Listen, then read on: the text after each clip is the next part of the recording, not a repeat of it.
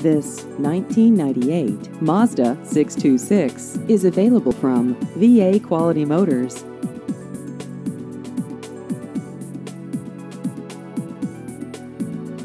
This vehicle has just over 113,000 miles.